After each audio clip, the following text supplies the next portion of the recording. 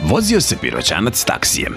Iznenada otkazaše kočnice na taksiju, a taksista poče da viče u pomoć. Znači, sine, u pomoć, u pomoć, u pomoć! Ajde, što se dereš na čoveci? Prvo zaustavi taksimetar, pa se onda brini za kočnice.